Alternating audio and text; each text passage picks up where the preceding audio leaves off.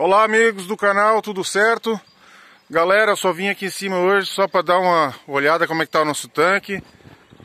Notem que tá cheinho até o limite. 1,20m de água, exatamente. Lá, na, lá está o nosso overflow, ainda falta colocar a parte de fora dele. Mas olha só galera, cheinho até a boca. É...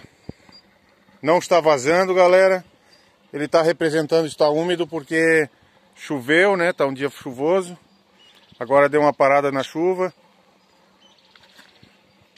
100% galera. Amanhã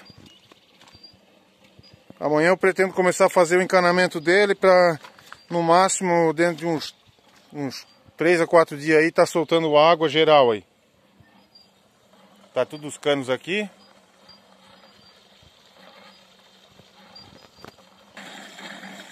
Esse aqui é o nosso tanque que já está funcionando já faz um tempão aí. Os peixes ainda estão pequenos, mas estão comendo bem. Começaram a comer lá agora. Eu, isso que eu não coloquei ração hoje, né? Coloquei ração só de manhã, agora de meio-dia, agora de tarde eu não coloquei ração. Sobrou bastante ração, que está um dia meio frio também. Eles não estão comendo. Galera, eu não ia, eu ia tirar fora o Samuca, mas ele está resolvendo, ele está quebrando um galho bem legal aqui para mim.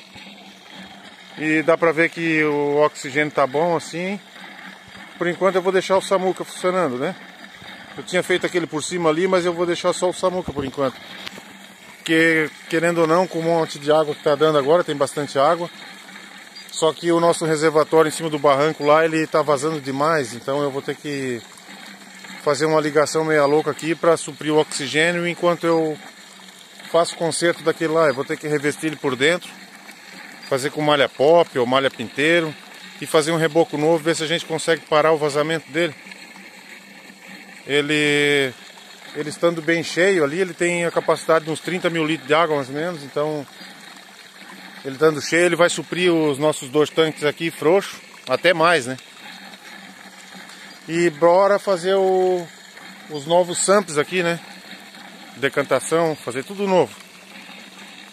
Valeu galera!